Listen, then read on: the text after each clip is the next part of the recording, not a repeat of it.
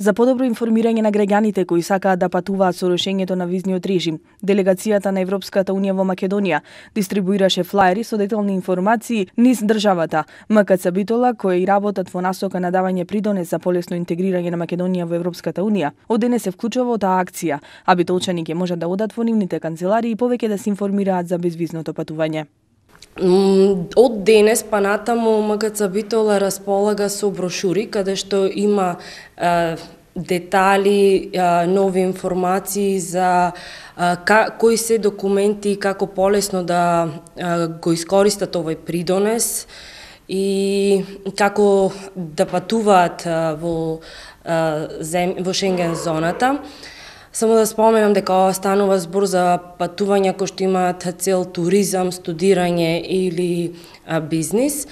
Оние кои патуваат почесто или чекале да стартува визната либерализација веќе знаат што треба да се носи за преминувањето на граница, но оние кои не планираат да патуваат знаат само начално што треба.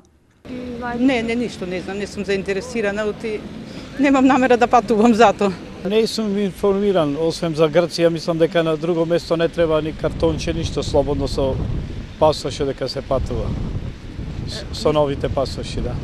Во брошурите кои ќе можат да се најдат на повеќе места во Битола се објаснува со каков пасош се патува, во кои зими се патува без виза, дека може да се остане во Шенген зоната максимум 90 дена сметано од денот на влезот во период од 6 месеци. Оне што често патува мора да води сметка кога во 6 месечниот период ќе достигне 90 дена. На дистрибуираните брошури на делегацијата на Европската унија пишува безвизно патување за граѓаните на поранешната Југословенска република Македонија.